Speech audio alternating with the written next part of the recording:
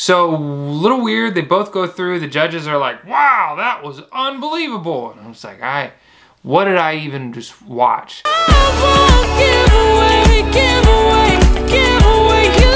Yo, what's going on? This is Clark Beckham. I'm your host of the Idol Breakdown. We have duets in Hollywood Week. Here we go. Fritz and Leah. Never had much faith in love or miracle. Ow. Wow. Never had to keep my heart on the line. Yes, let's go. Swimming in your world is something spiritual. No, no, no. Oh, wow. I'm born again every time you walk on by. For too long,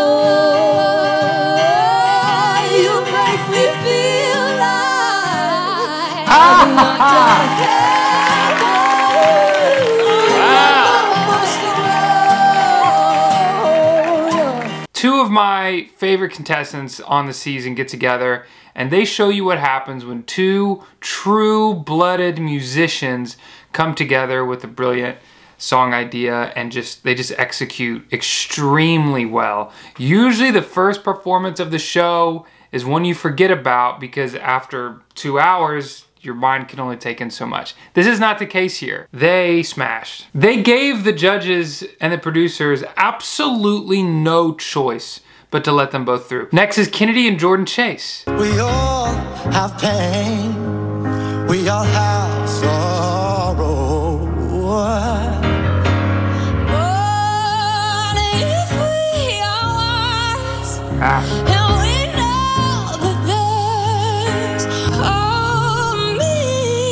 Me. So just call me babe. I haven't heard Jordan Chase before, but I'm glad I have now because this dude is super soulful. It's not promising that we have not seen him at all until now.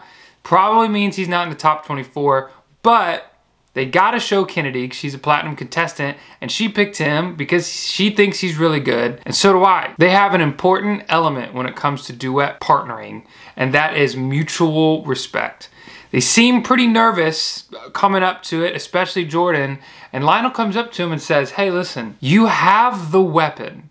Now you just have to execute. I really love that analogy. And it makes me want to bring back Lionelisms because he has a couple this episode. Personally, I think the vocal arrangement was pretty weak. I think it was too centered around let's do some runs and soulful stuff when the song didn't necessarily call for that. It was a bit of a tough key for Jordan, so I felt like he thought he had to do some extra runs to show off his voice because naturally where the melody sat for him in his range wasn't gonna show a lot, so he had to do extra stuff and work extra hard.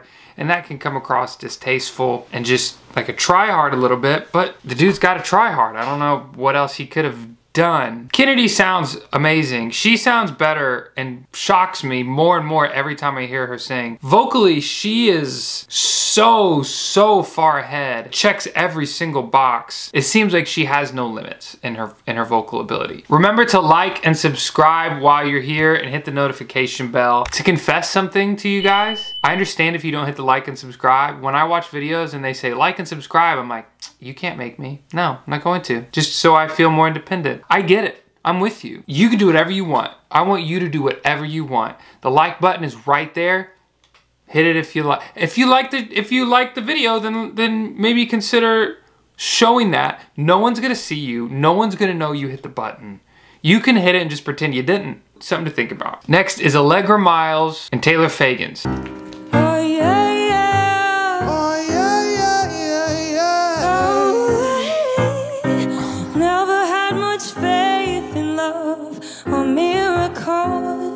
Miracles. She's got a great voice. No, never wanted to put my heart on the line.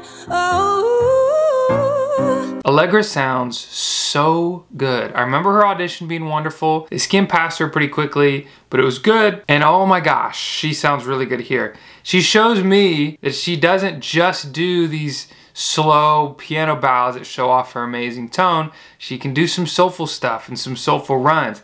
This is the perfect key for her. She looks incredibly comfortable, totally natural. He does not look comfortable. I didn't notice on TV, like watching, just listening to the audio mix they had, but Lionel alludes to Taylor being too loud. And he says, another great Lionelism. When it comes to duets, the first half is listening. The second half is singing. Lionel breaks the news that Allegra is going through, but Taylor is not. Now, when you're watching on the show, it's very drawn out with tons of spaces, and you think for a second, is he gonna let him through? You don't really know. And there are pauses, huge pauses between his statements. I am pretty sure that's edited in to make us freak out. I don't think he did that live. I don't think Lionel would have done that to Taylor to make him think, maybe you're gonna make it, maybe you're gonna make it. No, you're not. You're not gonna make it. I don't think he did that. I think he was probably pretty straightforward. Next was HunterGirl and Cole Ritter. So here you go again. You said you want your freedom. It's only right that you should play the way you feel. I have one note written down. Solid. I have. I thought it was solid. I don't really have anything else to say. Her tone was nice. He sounded good. And that's about it. A little underwhelming, but I didn't even have that. I just had solid. So it was solid. Sam Moss and Haley Slaton. Somebody said you got a new friend. And I know where you're at, I bet she's around. Let me tell you, camera guys during Hollywood Week are sneaky. They got boom mic operators and then camera guys who are way across the other side of the room will find these little angles and they work in tandem together. I can't tell you how many times when I was in Hollywood Week and we were sitting in a green room waiting for an hour with everybody else, just sitting around talking. We'd be talking about something, gossiping perhaps, and all of a sudden we'd look up and there was a boom mic above us, and then we look over here and all the way across the room there's a camera guy like 40 feet away and he got us. And they are sneaky like that. They catch a lot of moments here with Sam and Haley. The Katie moment was really sweet, really sweet. I loved how two moms to be, a mom that just got to be, are connecting. Katie gets emotional. They're emotional. I like that. They win the award for the best duet name as the Watermelon Smugglers. I think Sam sounded good, but she missed a couple, I've noticed too that I remember, harmony moments. The last note especially was off and really tweaked my ear funky. But she had some nice solo moments. Haley didn't do anything, at least in the edit that we saw. Haley didn't give us anything. And you have to find the balance between doing way too much and trying way too hard and taking your moment to shine. Every cut in Hollywood Week pretty much is a 50% cut. Half the people are going home. So I mean they're major, major, major cuts. And you've got to give them no choice but to let you through. And if you just do a performance and don't really do anything, give them anything special, there are too many other singers who are gonna do something special that are gonna leave you in the dust. So you have to find a way in your vocal arrangement, whatever you do, if it's high notes or something else, whatever your thing is, you've got to find a way to build it in the vocal arrangement that you're doing. Have to. It's the number one priority. We don't see it here for Haley and because of that, she goes home. I wanted you guys to know, I know I'm your host of the Idol Breakdown, but I am a full-time singer-songwriter, recording artist, guy. And I do house shows. If you're interested in actually having me come sing in your living room, you can email clarkbeckhambooking at gmail.com. Next, we have another platinum contestant who chooses Morgan Gruber. Is there something else you're searching for? I'm falling. This is a great choice. Morgan, I think, is a dark horse. She's a beast. And we have Jay, whose audition I was not fond of. I thought it was way out of control, like a kamikaze singer. And ever since then, I don't even think I've heard him do a single run. And I really am, am starting to like him a lot. Here again, you have mutual respect from both parties. And the vocal coach is pushing them hard. Now, I guarantee he didn't do that with everyone. Guarantee. He knew who was in the room. He knew how good they were. They were experienced and they were monsters, and he knew he could push them really hard. That's what he did. Love that. Love that. And if you're Jane Morgan, I hope they see that as a giant compliment to the respect that people have for them as contestants. Oh my gosh. They sing in the sha la la la lo la la la lo lo la la lo according to Jay. Now, Jay cannot figure out how the in the sha ha sha ha lo sha ha ha lo lo sha lo ha lo. I don't I don't know how it goes either. Nobody cares. It doesn't matter. It doesn't matter. The only thing that matters is he pushed through it, found a way to mumble his way through that part, and you never saw it on his face that he messed up. You never noticed it. If they didn't reference it before, we might have never noticed. That's what's important. Nobody, it doesn't matter that he couldn't figure out where the L and the H went and shahalalo, whatever, however it goes. So great job by Jay, just pushing right through. They both make it as they should. Olivia and Noah. I've been holding my breath on count to ten over something you said.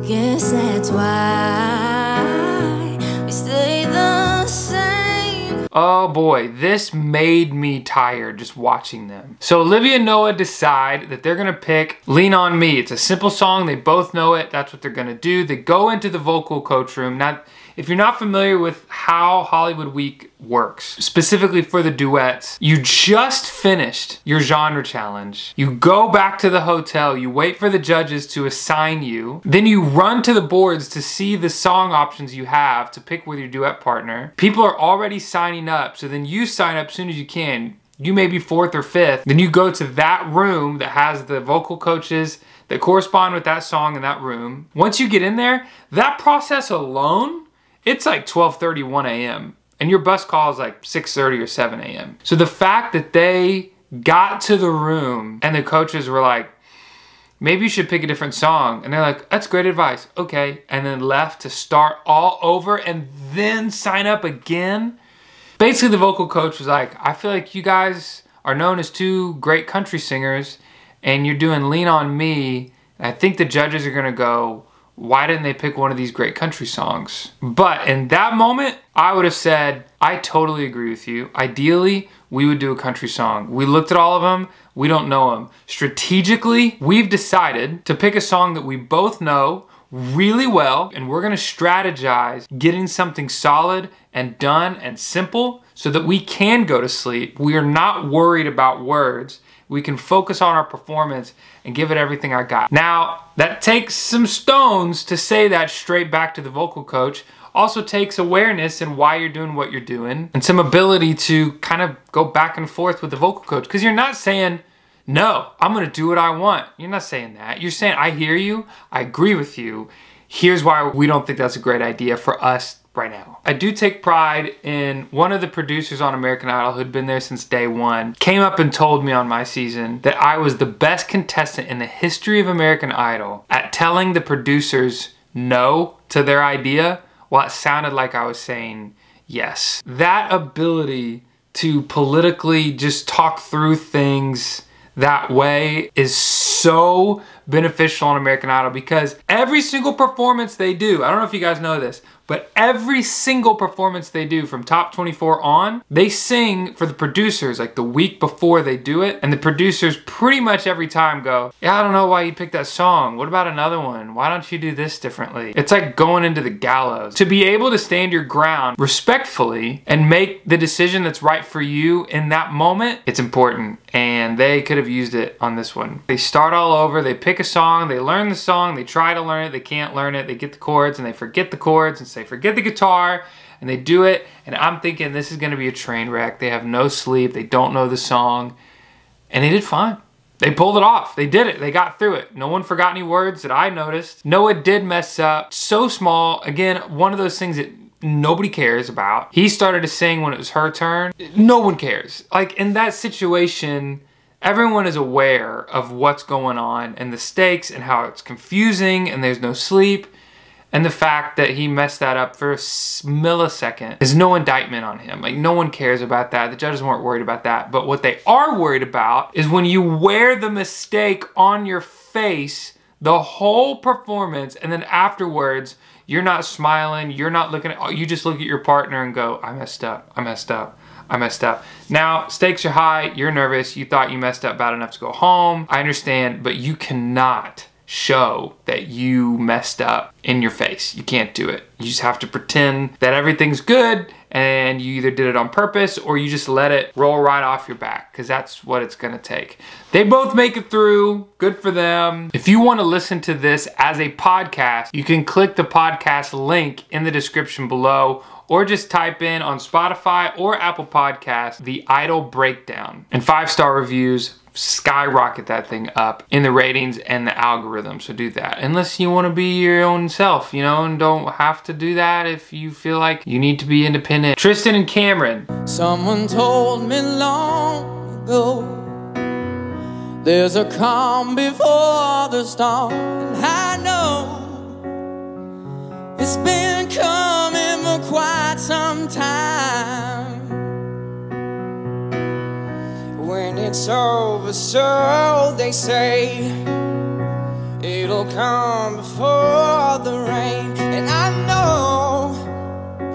shining down like water. Both Crazy is their name. Tristen, ultra, ultra experienced performer. Cameron, ultra, ultra inexperienced performer. Both full of energy. They pulled it off.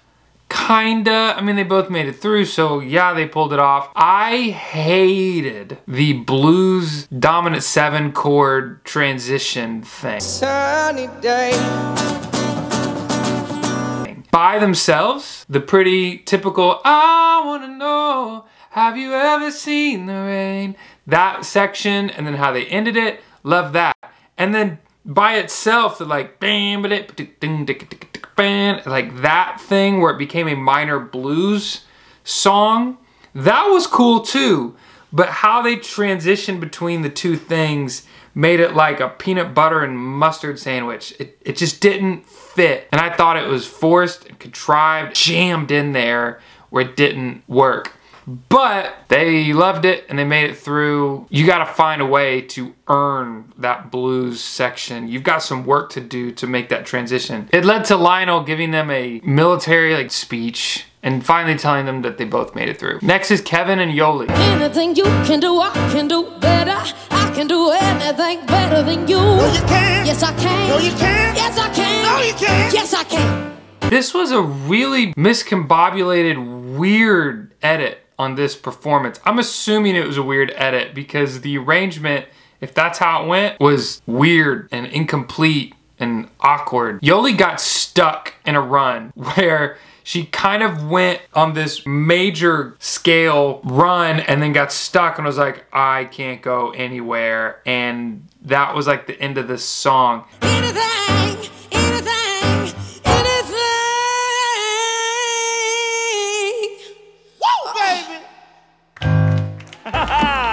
So, a little weird. They both go through. The judges are like, wow, that was unbelievable. And I was like, I, what did I even just watch? They both go through. If you want to take part in these live stream watch parties with me and members and Fritz and Ishan, you can click the join button at the bottom right hand corner of this video. If you're on your phone, you can click the link in the description. If that doesn't work, you just need to find a computer and, and do it that way. Thanks so much. I love you. Next is Douglas and Scarlett. I know I want you. Not a secret, you have to I try. know you want me.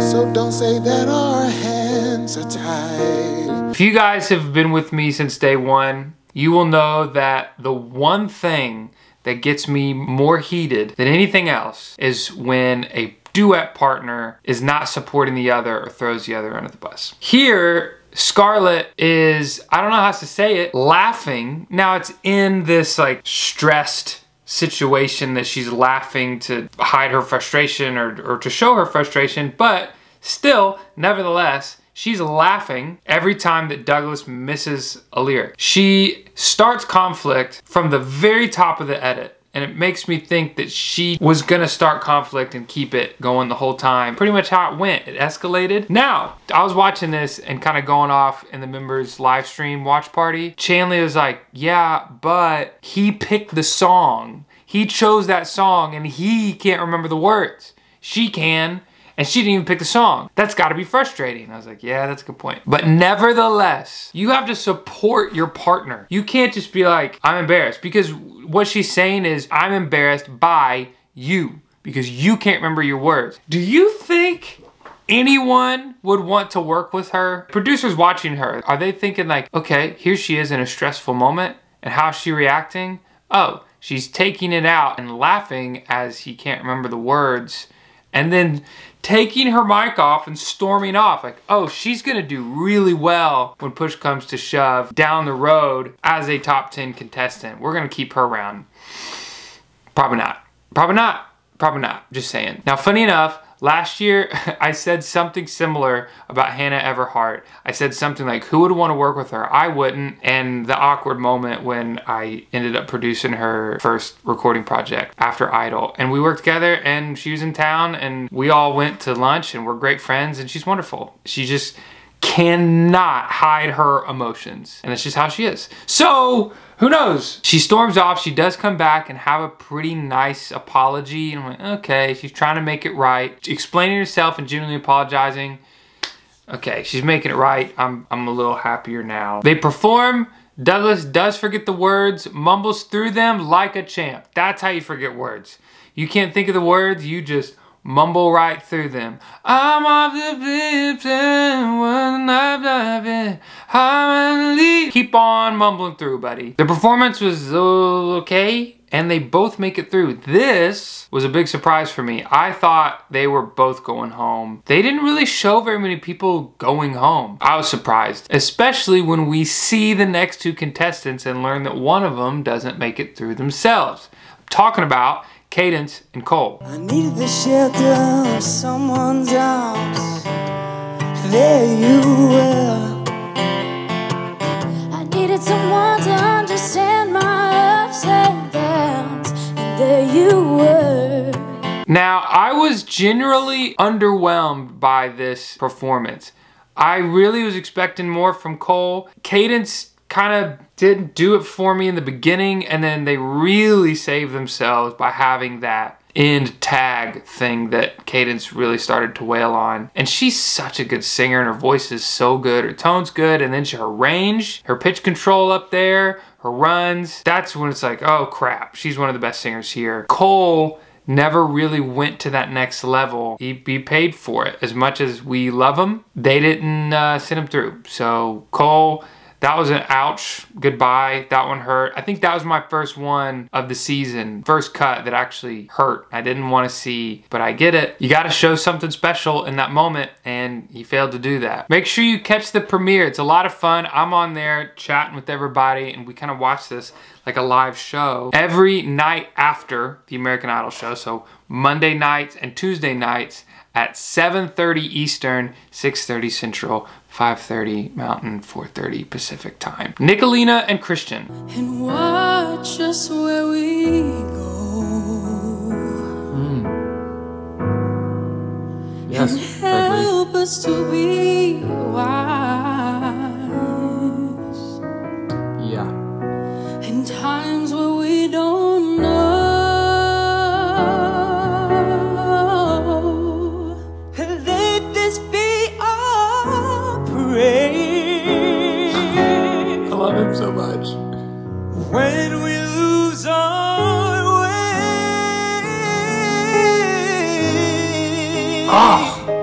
How does he do that? Just make every song like that. to a place. That's a smash. That is a smash hit for the duet round. And we all saw it coming. We all saw it coming. As soon as Nicolina and Christian were together, it's like, that's a wrap. It's a wrap, it's a wrap. I don't know how Christian makes everything sound so soulful. Honestly, when I heard they were doing the prayer, I was like, oh, okay.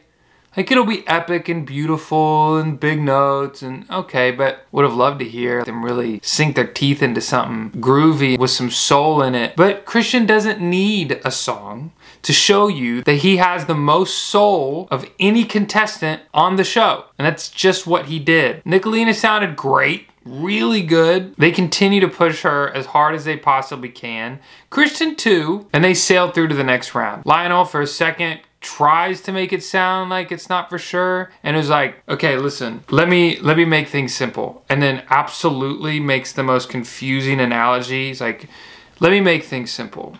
In duels somebody gets shot.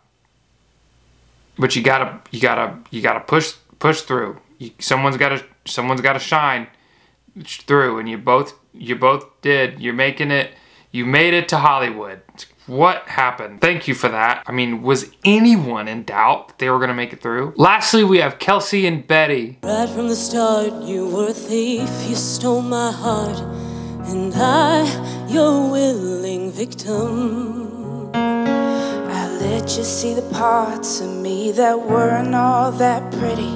With every touch, you fix them. This was a great pairing because Betty, being a former Miss America, I guarantee you, as tough and grueling as Hollywood Week is, it is nothing to her. In her experience and what she's gone through and what she's accomplished, this is a cakewalk. As far as the stress, the lack of sleep, high stakes situation, like this is nothing. But for Kelsey, this is way over her head. And I'm watching them and I'm thinking, it is irresponsible to have Kelsey still in the competition. She just simply can't handle the pressure. She can't.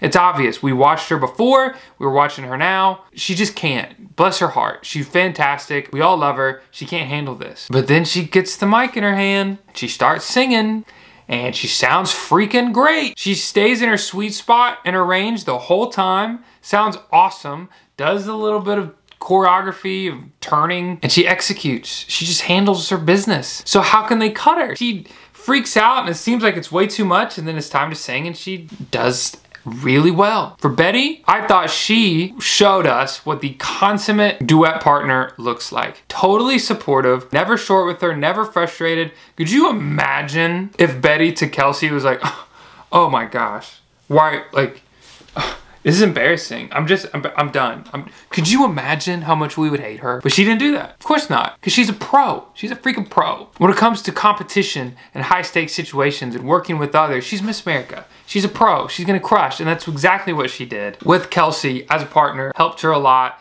When it was her turn to sing, she went off for it, and as she should have. She gave it her best.